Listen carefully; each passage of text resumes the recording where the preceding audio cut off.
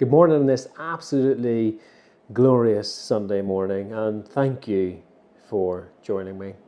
Today I'm going to talk about post traumatic stress disorder. So, as some of you will know, I have PTSD and I've had it since 2012. Now, the roller coaster ride that is PTSD of the ups and downs, the highs, the lows, the depression, the anxiety, and everything that comes with that can be exceptionally challenging to live with. So, what I've done is I've tried to, despite all the therapies and all the medication I've tried, I've resorted to something else, which is my photography.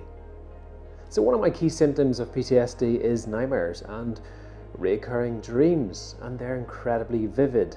They tend to wake me up at the same time every day 3 o'clock, 4 o'clock in the morning, like an alarm. Just go. And as soon as I have those dreams, immediately my body's filled with adrenaline. And with that comes a massive amount of alertness, fear, panic. Originally, I didn't know what to do with that. I would lay in bed and try and go back to sleep or worry and just keep worrying, and it would escalate fast. But now, what I do is I go outside and take pictures of the sunrise. So in this very quick video, I'm going to show you some of the photos that I have done over the last few days, last week even, and some of this is PTSD induced. I'll also talk about why I feel that putting positive images in your head can only be a good thing.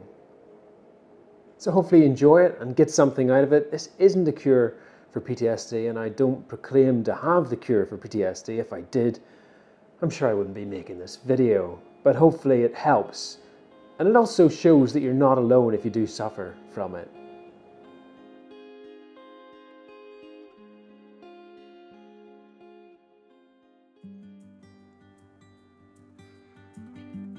I think a fundamental part of dealing with PTSD is understanding yourself and what really makes you happy what inspires you, and what can keep your mind focused on the things that are positive. As I said earlier, for me, it's photography.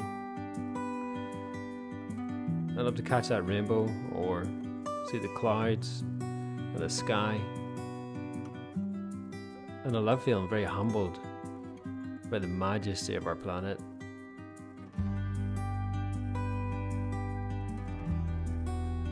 Although in panic and fear, perspective isn't there. It seems to get blinded by post traumatic stress, anxiety. But when you breathe and take time and change the scenery, perspective will come back. It's not an easy journey.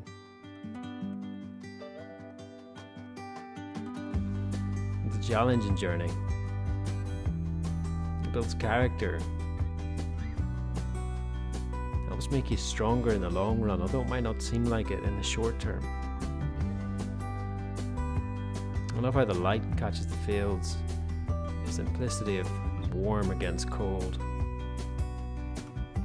Trees are a critical part of how I manage. I see trees stand alone. Yeah, they're part of a much bigger species